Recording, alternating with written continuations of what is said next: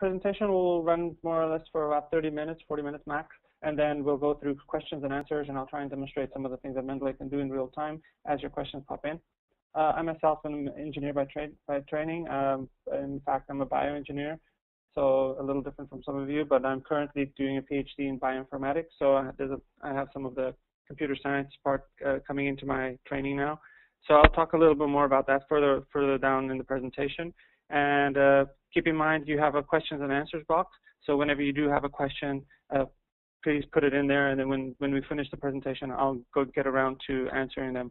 If you do have any pending issues right now, such as no sound or no uh, no uh, image or something, uh, just try and use the chat box. I, I, can sort of just peek there and see if something's wrong. So, um, so the, the, this presentation will go over these brief topics. So I'm just going to explain what Mendeley is, I'll, I'll, explain how you can organize your documents and all your references, collaborate and join groups, create groups and working groups together, and then also uh, see all the, the cool statistics and trends that we can that Mendeley is actually extracting from all of this through our um, through the basically the aggregate information that everyone's uh, uh, generating through using Mendeley. And then finally, I'll show you how you can sort of extend Mendeley in your by by yourself if you're into programming and uh, uh, using some, something that we have, which is the, our, basically our open API that gives you access to all the information that we have stored in our database. So um, let's get this started. So for any of you that have no idea what Mendeley is, or even of those that you already know what it is, um, that might uh, make you learn some the couple new things. So Mendeley is available on um, there's a desktop uh, application, a web uh, component, and then we have mobile applications. So it's available on Windows, Mac, and Linux for for all the desktop uh, um, operating systems, or at least the most modern ones or most used. And then it's available online through any web browser. We don't necessarily recommend too much the, the um, Internet Explorer, but the latest one does. Uh, we do try to um, make it compatible with all of them.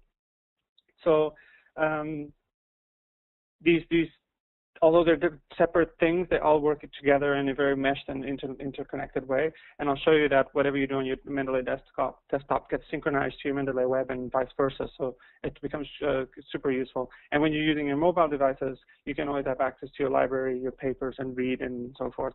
So um, and it's, uh, as you can see, it's written here, it's free. So you can easily go download it, give it a try, and if you like it, just keep on using it, and I'm sure it'll help you because it has helped me in my research.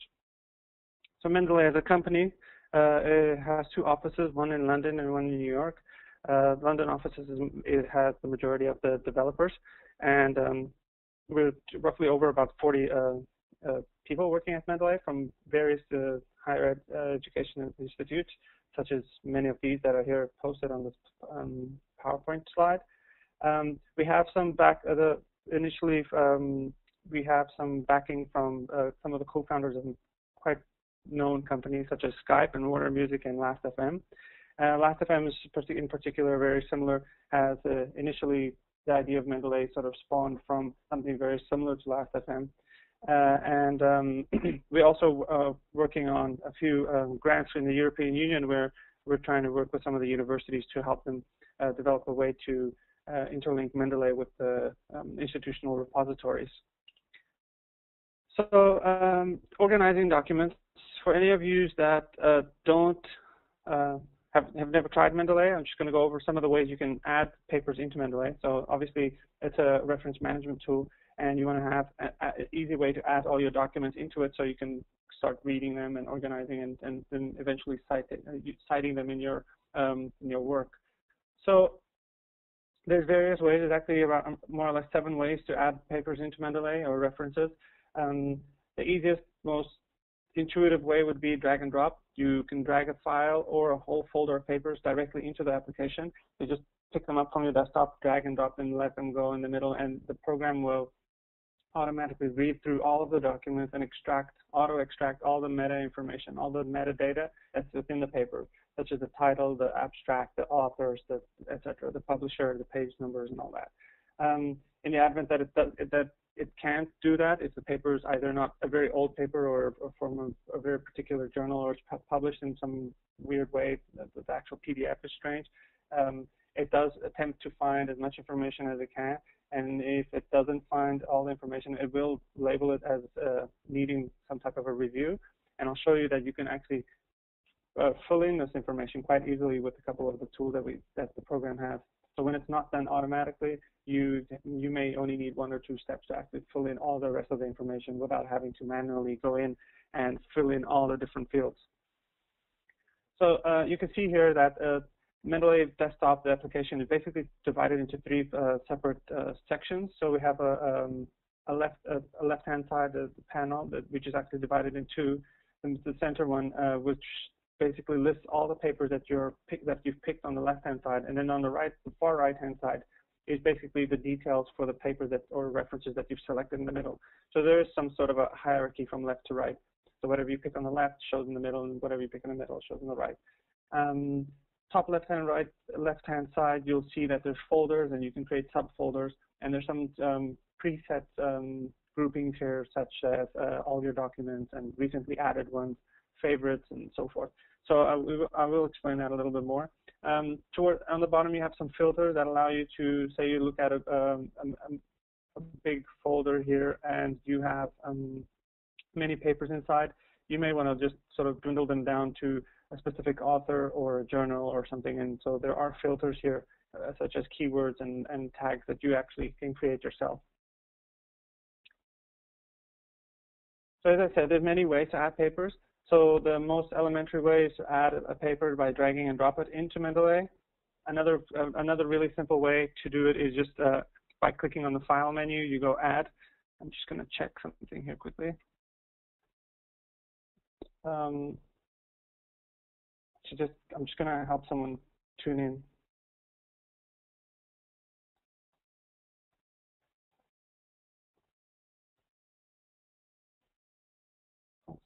Okay. Anyways, uh, let me just go back there quickly.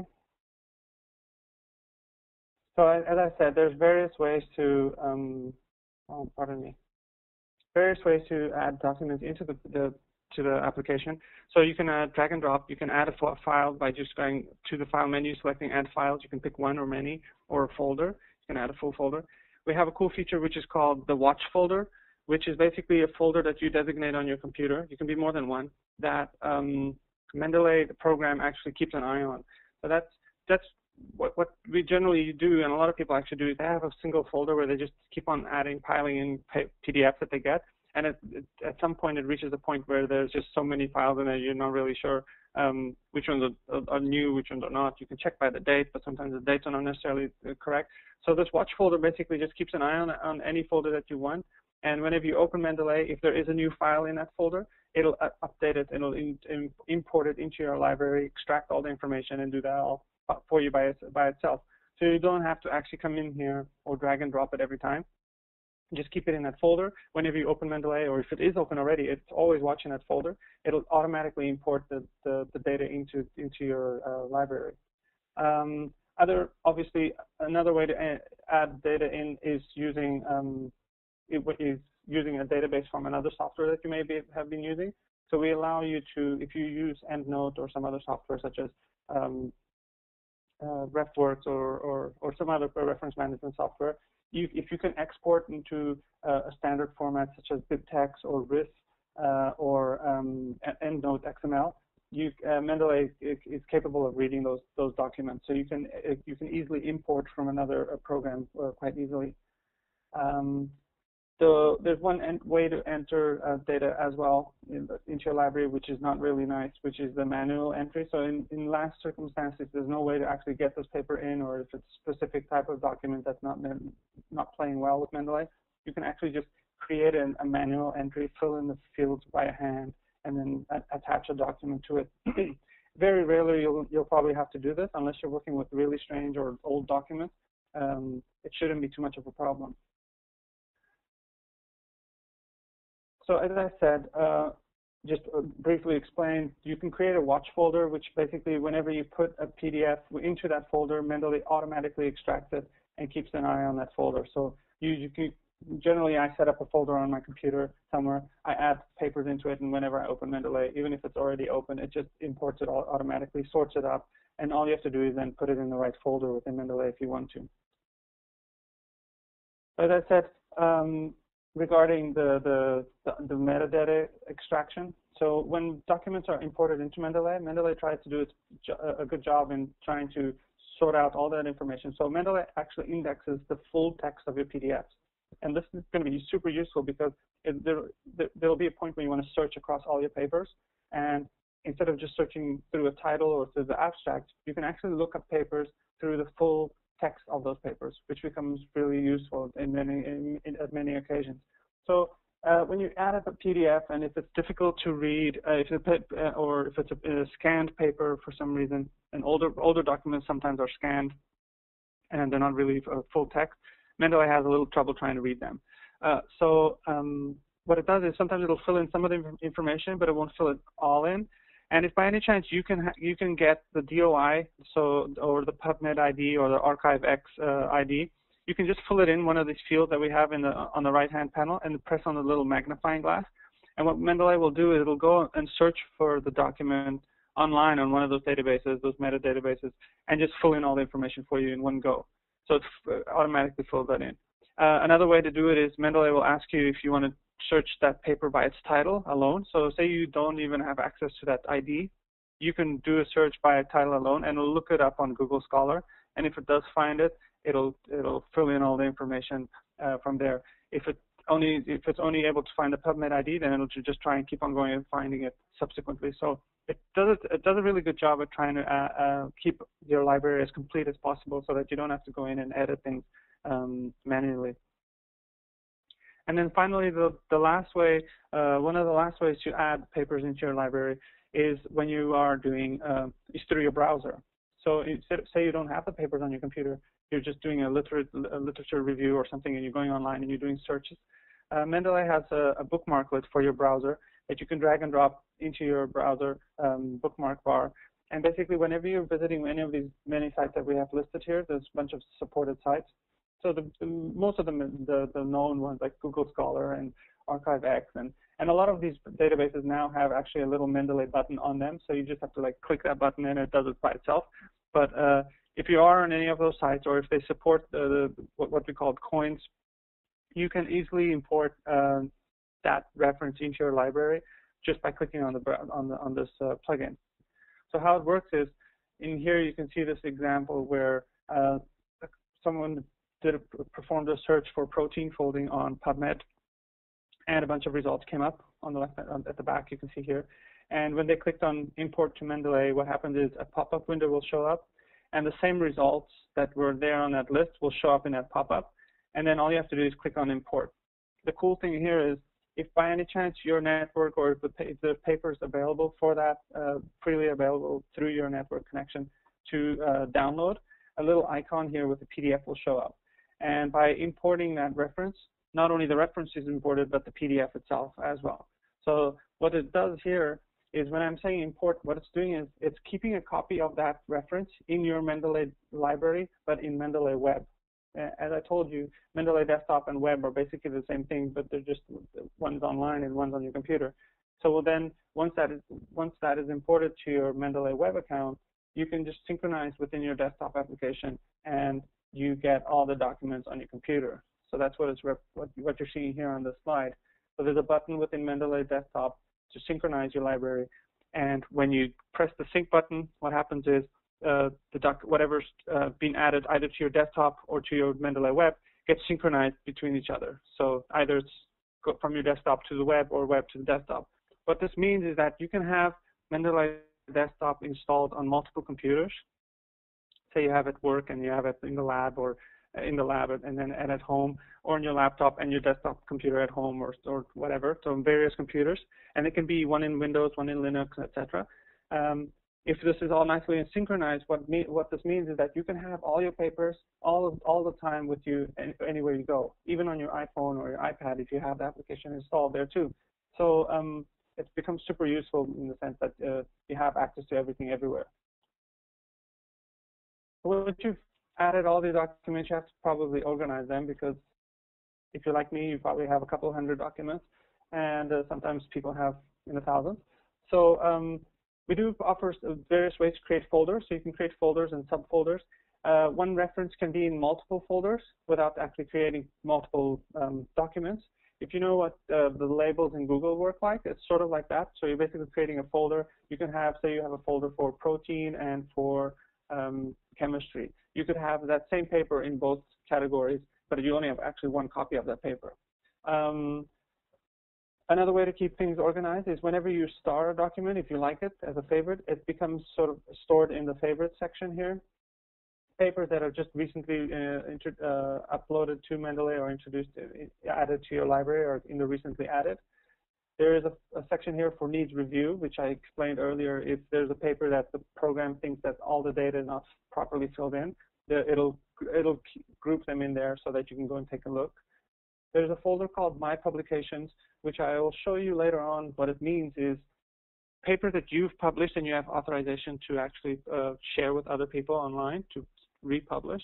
You can uh, put them in this folder, and they'll become available for download on your researcher profile. So your profile on Mendeley Web, you'll have a profile there, and th those papers will be basically, you'll have a, a bibliography of your own listed there, and the, those documents will be downloadable if you if you add them there. If the PDF's available, if you just add references, just those references will will, will be listed in your in your profile. So it's a it's a pretty cool way to set up a, a sort of like a researcher's CV page of yourself. Um, as you can see here in this image, um, I'm not sure if it's really if you can actually see it, but you don't not every reference has only PDF, so you can actually attach other types of documents to your references. So uh, Word documents, PowerPoints, PDFs, etc. And you can have multiple documents on the for the same reference. So in some cases, you have the PDF and you also have the supplementary data. So zip files, Excel files, etc.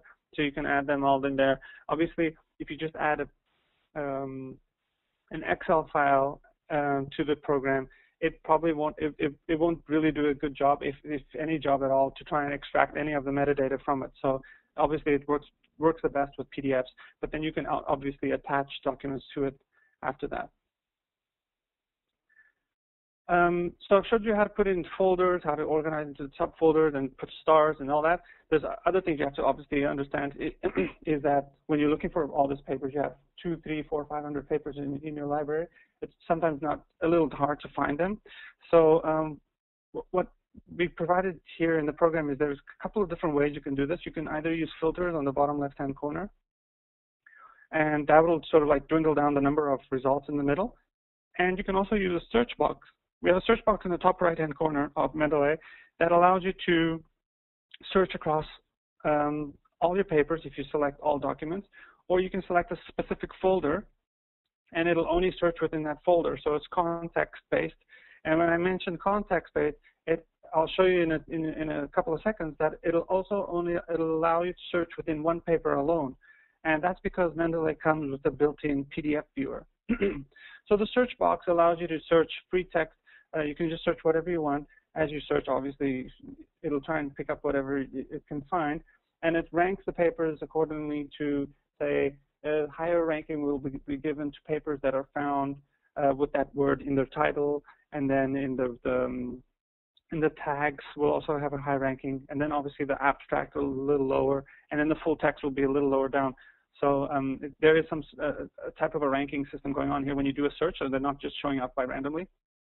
And you can also search specific fields, so you can look up just the author or just the title or just uh, the year, etc.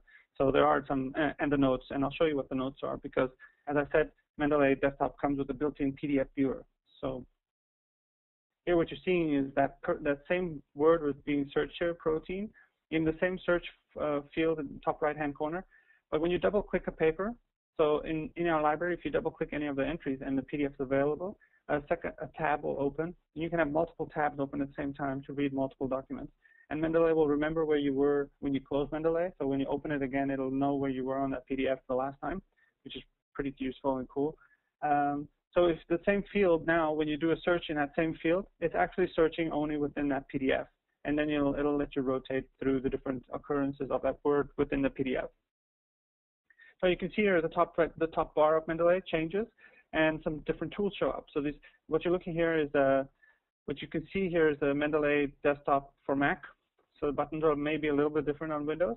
And you see here, you can have a highlighting tool, so you can highlight text and add post-it notes and select text and so forth. And you can read in full screen, which is really cool. So you you have no distractions, etc. Here you see some of the tools in action. So you can add post-it notes, you can highlight text, so, and you have you have so you have general notes that are notes that are document wide, and then you have localized annotations. So these these post-it little bubbles, whenever wherever you place them, they get a little post-it note and you can write whatever you want in there. So uh, it's quite useful. And I'll show you that when you start working in groups with the Mendeley, you can actually add um, multiple people can be working on the same document, adding their own highlights, each of them, and, and adding post-it notes all at the same time. So it becomes super cool. And one one other thing that when you add a lot of papers to your computer and to your to your applications is that the files that you download and you add to Mendeley and to your computer, obviously, are in many cases unreadable. What I mean by unreadable is that the file name is sometimes sdarticle.pdf or a number.pdf, and you have no idea what's inside them. So Mendeley comes built in within the, in their preferences or in the options. You can go in and look at uh, something that we call the Mendeley file organizer. And we have a couple of options here. You can organize by folders or by uh, author, by journal. These little bubbles, you just drag and drop them, and it'll show you what it'll look like, the structure that'll end up. So when what happens is you get, say you start off with a folder something like this, where you have a bunch of papers that are sort of cryptic in their name. You have no idea what's in there. Sometimes they just have like a very vague name or very similar names, although they're different papers. Um, what you do is you run the file organizer, and the file organizer uses all the metadata that is extracted from these papers that's in your library, and it renames them to an appropriate um, structure that you've picked. So in my case, I decided to keep them all in one folder, but I wanted all the files to be named the author, the year, and the title. You could, if you wanted to, you could order all of this into a, a folder structure. So you could keep all the author papers, uh, each author has its own folder, or each journal has its own folder, or each year has its own folder, so forth. So, uh, it, it, and it does it automatically, so you can redo it if you want to at any stage, uh, which is quite useful. So we've added all the papers into Mendeley. We've started managing them, putting all the documents into um, into folders and keeping. We we now know how to find everything. Now it's time to obviously do the hard work, which is doing reading all of them and then writing about your research. So when you write about uh, when you're writing your documents, you obviously either use a word processor such as, such as Word or uh, OpenOffice uh, uh or NeoOffice or or LibreOffice, etc. So Mendeley comes with a built-in um, word processing plugin that allows you, basically, it's a citation tool, plug, uh, so allows you to add citations as you write your documents. And uh, it's currently available for on Windows for Microsoft Office. Let me see. So Windows is 2003, 2007, and 2010, I think. And then on Mac, it's 2008 and 2011. I presume. I, I, I know the numbers change vary a little bit.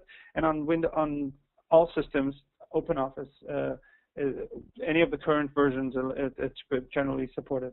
Just one one thing to mention: we currently don't support, and uh, very few people ask, but they, they do ask from time to time. We don't we don't support at the moment the 64-bit version of uh, MS Office.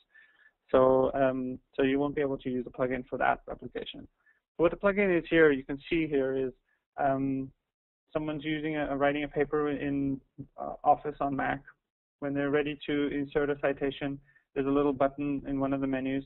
On, on Windows and on uh, Linux, you'll see the button show up in one of the ribbons within the processor, so it's a little easier to find. In Mac, it's actually a little stored within a little submenu. So you go into the submenu, you find Insert Citation.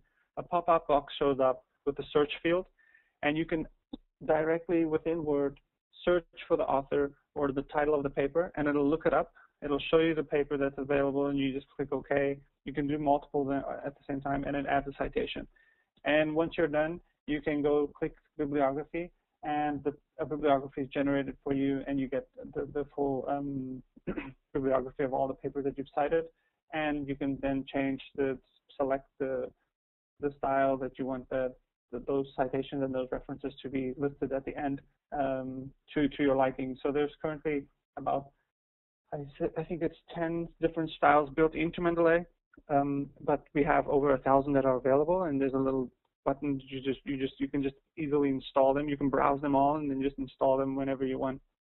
So uh, if there is any issue with the citation style, we currently don't have a citation style editor that allows you to uh, customize that uh, those styles, but we but we we are in the process of, of trying to make one for you or least finish one. And um, but we have uh, provided on our blog some instructions on how to actually edit citations if you do need to. But um, currently there's actually a very very large list of available styles, and unless you're something from working in some specific country or or at a specific institute that requires something very different, um, you should be able to find something that uh, is to your liking. Another thing I just wanted to mention, you can always, within Mendeley Desktop, select a couple of papers in your list, do Control uh, or Command C, so copy, and then paste into any text editor, and it'll copy and paste that, that citation in a in a formatted way. So it's really useful for just say you want to email somebody a, a reference to a paper, or just post it on a on a web blog or something like that. You can it's pretty easy to do that. So for those that don't use word processors per se and use something like LaTeX, um, it might be quite useful to um, have BibTeX of all your documents, or at least of a selection of your documents. So what we do here is, within the Mend uh, Mendeley preferences, you can go to a section, one of the tabs at the top. You can find one that's close to the file organizer. You can find one called BibTeX. So uh, you can escape some of the LaTeX special characters that in there um, because sometimes abstracts and all that have those those those characters that may screw up your LaTeX and then you can basically just create um, BibTeX files that are automatically synchronized with your library. So say you're starting a new paper, you, you can create a, folder, which we call, in this case, it's called a collection. You can create a folder or it's a collection of paper that's for that, for that project. And you can create, you can have the program create a whole collection, uh, a BibTeX file for that collection. So as you write documents and you add papers into that folder, the, the BibTeX file is keeping all of them there and then you can obviously uh, work on by um, adding or uh, um, using that file for your LaTeX document. So when you do create this, what happens is you get a folder. In this case, I created one for every folder in my library. You get a bib file for every uh, folder. And this is just basically what a bib text looks like. It's basically LaTeX with specific fields. At, uh, their, their, fields are a little, um, are quite easy to understand. Um, they, they do allow some specific uh, fields that um, we try to keep as standard as possible. Um, still related to BibTeX, I said that Mendeley easily imports to BibTeX, and as you can see, it easily exports to, to the same format. So it, um, it does a, a, pretty good job with that. So if you do work in LaTeX, um, we do know there are some issues with this. There, LaTeX, some some journals have specific, uh, in some fields of uh, research, have some specific fields that they add to their text. Uh, we don't necessarily have all of them, um, but we do try and keep most of the standard fields in here. And um, and we always like to hear from whoever is working in LaTeX because this is something that not many people do use, but it, it we do feel it is useful. And folks in in engineering and uh, mathematics, computer science, and physics generally uh, do like to to use LaTeX uh, for for their for their projects. I'm just going to go try and run through the collaboration part quickly because we're I'm sort of extending and going a little over time here because we started a little late. But um, so I'm going to demonstrate one of the really cool features here that Mendeley has is allows you to work in groups. And groups is super cool because there are uh, private groups and public groups, and I'll show you that they allow you for, to do different things. So when you create a, uh, um, a Mendeley account, you um, when you sign up for Mendeley, you basically get created uh, automatically a Mendeley web account. So there's basically your user profile. And this profile, you can upload a photo and fill in some of your information. And this becomes useful because you can then share your publications through the My Publications folder within Mendeley Desktop that I mentioned to you. Those files become available for download in many cases if they are actual PDFs. Sometimes they're just references. And this is Dr. Victor Henning. He's uh, one of the co-founders of uh, Mendeley. And you can see that when you do provide this information and people within Mendeley read your papers or download them and have access them, you get quasi real-time statistics about what uh, who's reading your papers and and uh, how many people and so forth. Uh, other information that's really cool here is that Mendeley allows you to connect with other Mendeley users to, to working groups, and that establishes a network of contact. And we're not necessarily just creating connections like Facebook or something where you're just connecting with people just because you're connecting with them. You're actually connecting with other people that are working with you or working in your field. So uh, it, it, it's pretty pretty cool to to, to see this this uh, user profile actually uh, grow and see uh, your contact uh, network uh, get established. And I'll show you later that we actually then recommend other people to work with and other papers to read and so forth. So um, that's also very useful.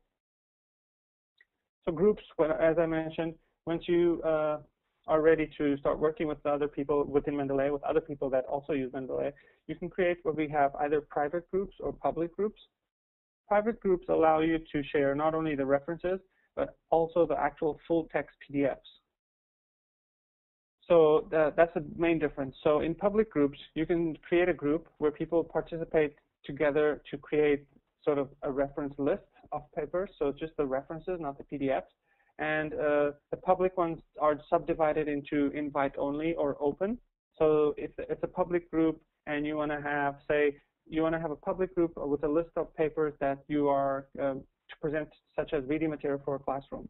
You probably don't want it to be completely open because you want to have control over that list. So you might want to, if, you're a professor or teach or PI or something, you may want to only invite your TAs, for example, your teaching assistants, and they can add papers to that list. And then you could publish that list on, on a website through RSS or some other, uh, one of the embedded uh, HTML fields that we provide you. So uh, but if you wanted to create, say, for example, you like a specific topic, such as, say, um, microscopy. You want to create a, a, general topic group called microscopy, and you want any, anyone from any place in the world that uses Mendeley to add references related to microscopy to that list, so that you have like a master list of papers in microscopy. You can do that. So that's the totally open public group. However, um, I'm just going to focus a little more, a little bit more here on the private part because the private groups are, the, are, are, are really cool because you can actually work with other people on Mendeley within the within Mendeley desktop, and you can share the PDF and you can share annotations between each other. So you can work together on a PDF or multiple PDFs and share your notes and your highlights, etc. And there's also we also provide you with a dashboard to actually have a, a, some sort of a, a small a, conversation going on within your research. Um, there are you can create the groups on Mendeley desktop or online, so on Mendeley web. We, we provide most of the same features in both of the platforms.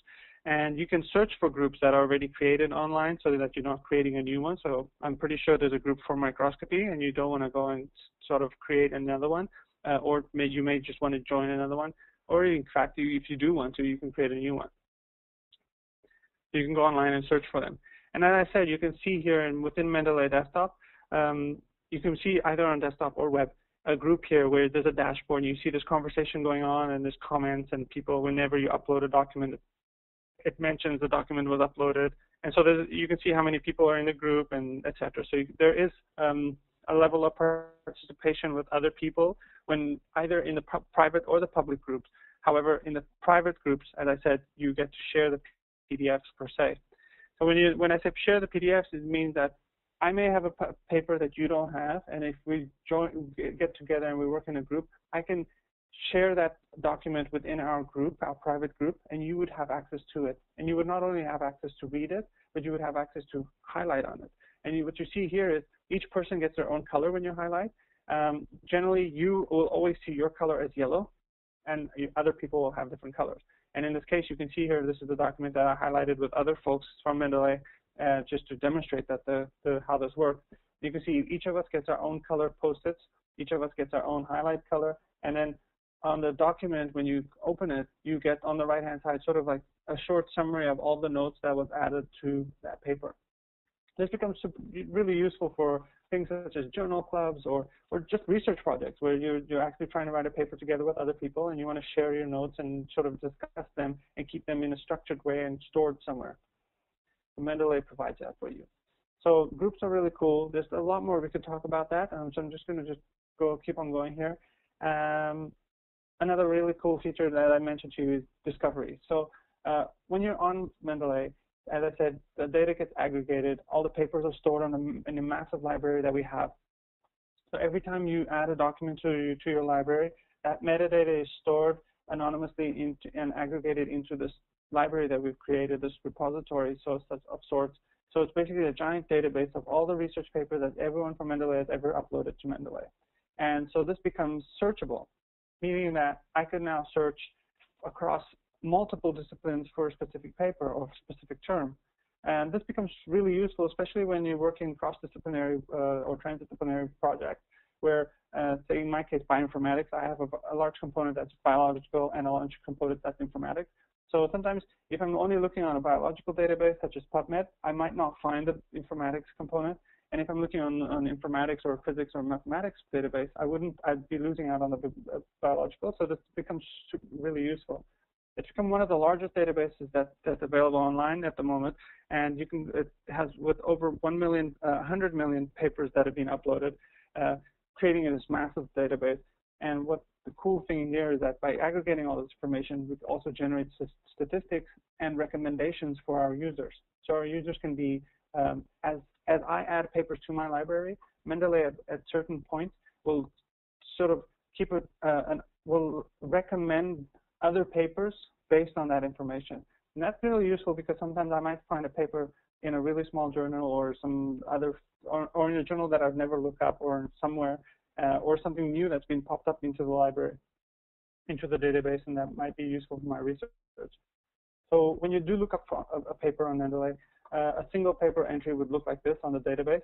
So our paper, our research catalog will show will show you not only the abstract, the author, and some that type of information, but it'll also provide you with re related research, recommend readership statistics. So it'll tell you how many people that use on Mendeley have this have read this paper, and I'll also mention which field area of research they're from, which discipline, what's their academic status, which country they're from, and also in many cases you'll have a small um, generally a, a, one or two page preview of the paper. So you can actually click here, it'll open the PDF in a, in a sort of like a pop-up window, and you'll you can read just the, the first tidbits of sort of like a, a, half section of a page.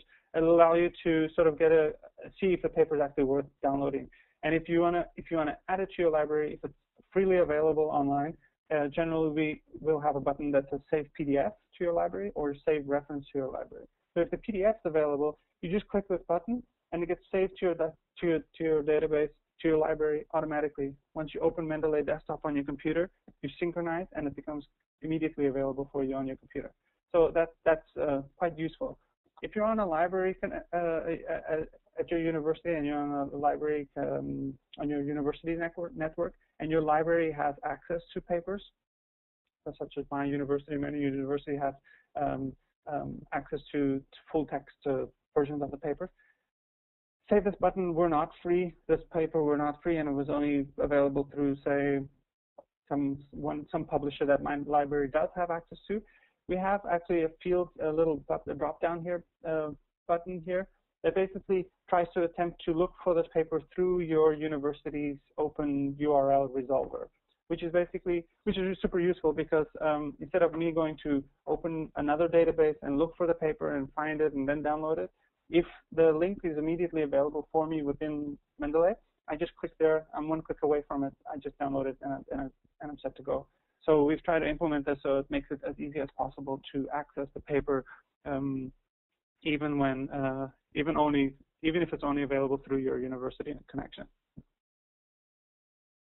And as I said, by adding all these papers to your library, connecting with other people, you get a, a full-fledged dashboard on your desktop that allows you to connect with other people. You can actually chat with other people through um, through comments and, and etc. We have some of the social network type of features that a lot of people enjoy. And then we uh, re recommend people that may that you may know that are based on your research interests and other people that you've connected with. And we also provide you with real-time updated feed of the most read articles in your field of research and also recommendations, so actual papers that we recommend that you might want to read based on previous documents that you've added to your library. So that becomes quite uh, useful uh, in the long run, especially uh, because this is give sort of passively being given to you. You're just passively learning about new papers and, and meeting new people, which becomes quite useful in uh, when you're doing research. And finally, I just want to go over, um, because many of you uh, that may be working in engineering may actually be computer scientists or enjoy programming. We have um, a Mendeley Open API, which is basically all the information that I just mentioned to you that's available in that research catalog. You can have access to all that information through our Open API. And if you have a really cool idea of what you could do with that, we use this open API and you can develop a program like many people are, have been developing and there are many more that are. And you can generate, create new programs and new software and, and applications. Or you could actually potentially create a new Mendeley desktop, another software project. So uh, th that means that all the data is completely open and still everyone's data. So we're not necessarily hoarding all of this and keeping it to ourselves. We're just making it organized and making it available back to everyone. So um, there's actually a competition going on right now. It ends towards the end of September. It's called the Binary Battle. And if you use our API and create a really cool tool, you can win over $10,000 and some really cool prizes and be judged by some of the big names in uh, online uh, and publishing the, from the online and publishing world. Uh, it's a joint uh, um, competition by Mendeley and PLOS, so the Public Library of Science, and uh, it's it's it's quite entertaining to see a lot of these big projects being set up. And you can I'll, I can show you um, online after the presentation if you want some of the projects that are, that are being developed and that have already been done. And I and I can mention to you and show you if you there is a wrapper that, so that if if you do program you you might know what a wrapper is. So it's basically people have created sort of uh, simplified versions or, or program packages to allow you to access this information through our API using either Python or Ruby or R, some different programming languages. So there are a lot of different uh, ways to access this information. So the address is there at the bottom if you want to take a look at that. And finally, to just finish up here, um, it's, it's pretty important to, if you don't want to keep up with whatever we're doing and, and the novelties and new things that we're introducing, keep up with our blog. So it's mendeley.com slash blog. And we also have something called the feedback forum, which is called which is available at feedback.mendeley.com. And you can go in there and, and suggest new features and add new features. If the feature has been suggested already, or or if you want to report a bug or something, you can vote for it. You get a specific number of votes, and you can vote for it. And then those the thing that get most votes generally get some some airtime in a programmer's uh, uh, get some a slot in their in their roadmap and then generally become uh, a feature within Mendeley. So it's not necessarily only our roadmap and the way we want to make the program. It's also a lot of feedback from users have let us sort of um, maneuver uh, around our roadmap and implement other features that have made us uh, quite uh, uh, implemented a lot of really, really useful features. So if you do have something, suggestions and feedback, just go ahead, go over there. And we also have a contact and support form on the on the website if you want to contact us there. Um, if you did like this webinar, or if you think that more people would enjoy um, watching or listening to this webinar, um, there's a, there's a link here called Group Webinars, and we you can go to that um, address and sort of request another webinar, and we can try and find a date and a time and see